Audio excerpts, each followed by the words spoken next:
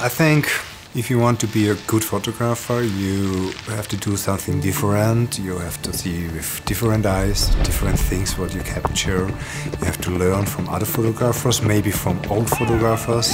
You have to learn the technical side, but don't forget the important thing is the picture, not which camera you, is taken that or which uh, lighting you use. It's the results. It's important thing.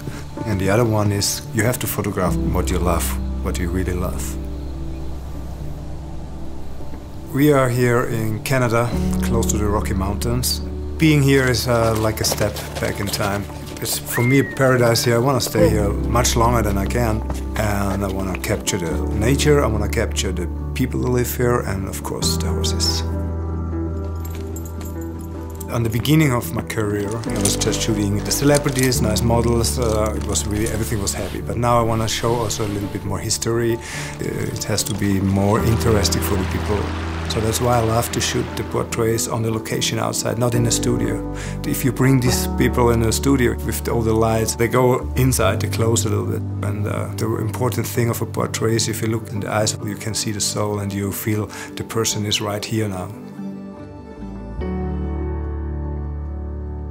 To photograph uh, horses, it's a special feeling. It's a, it's a strong feeling because uh, they're huge animals full of power and energy and they have so many different faces as well, like people. I feel I'm, uh, I'm a photographer, not the person who's sitting hours and hours in front of a computer. So that's why I love to work with ACDSee because this software is for me yeah, easy handling and it's bring me fast to the results what I want. Coming here is life-changing for me. I see everything with different eyes now and I don't think uh, I don't have to do so many things or I don't have to be so stressed out.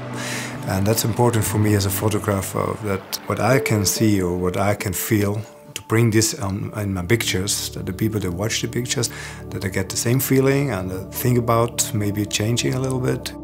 And that's why I love my work, because I can see so many beautiful places like here. So I have to capture this and have to share this with other people. And uh, yeah, that's, that's my profession. That's, my, that's what I love to do.